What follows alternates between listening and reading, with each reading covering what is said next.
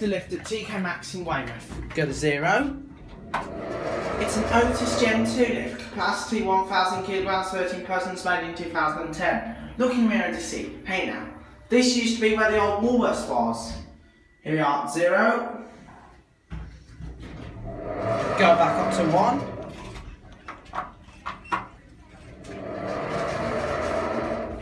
Pretty good Gen 2.